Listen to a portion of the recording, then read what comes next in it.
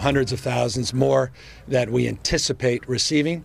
Uh, but we now, obviously, based on what we've heard in the last 24 hours, want to confirm uh, that those doses indeed are available. And public health officials in Yolo County tell me they don't even have enough doses for their healthcare workers who are first in line. We do not have enough vaccines in Yolo County.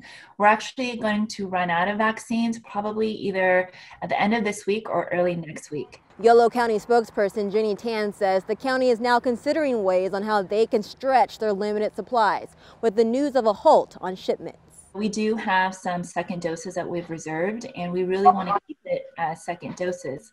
But what the news may mean is that we may need to think about maybe some other strategies if we want to use second doses as first doses. You know, really talking about is it better to have people that are halfway vaccinated or to have people that are completely vaccinated. Dr. Brad Pollock is Associate Dean for Public Health Sciences at UC Davis and says one dose is better than none. They know that there's evidence that you'll get antibody response.